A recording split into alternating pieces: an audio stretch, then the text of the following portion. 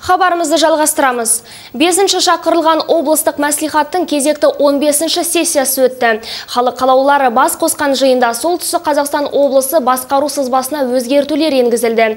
Сондай-ақ қоғам қайраткері атақты жазушы Герольд Бельгерге облыстың құрметті азамат атағын беру мәселесі де қызу талқыланды. Толығырақ келесі бейнематериалымызда.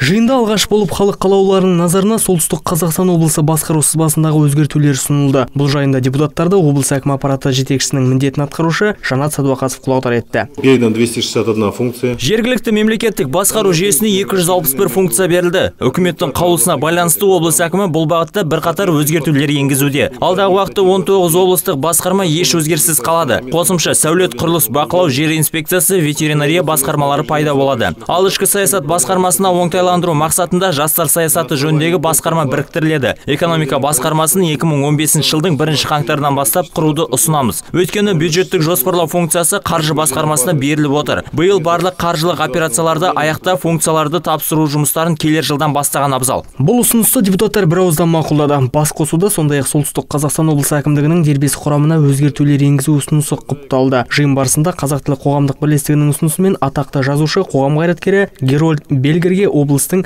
құрметті азаматы атағын беру мәселесі де қарастырылды. Герольд карлович переводчик классика казахской литературы. Герольд бельгер бірнеше қазақ әдебиеті классиктерінің еңбектерін аударған. Атақты жазушы қырықтан астам кітаптың авторы. Қоғам қайраткері 1934 жылы 28 қазанда ресей федерациясының енгельс қаласында дүниеге келген. Соғыс жылдары қазіргі шалақын ауданына қарасты ысқақ ыбырай ауылына қоныс аударған. Осылайша азамат қазақ мектебінде білім алып алматы қаласындағы қазақ педагогикалық институтында оқуын жалғастырған. Бұл ұсынысты халық қалаулылары құптады. Жалпы облыстық мәслихаттың 15 сессиясында барлығы алты мәселе қарастырылды. Самат қайырденұлы михаил казначеев муниципалдық телеарна.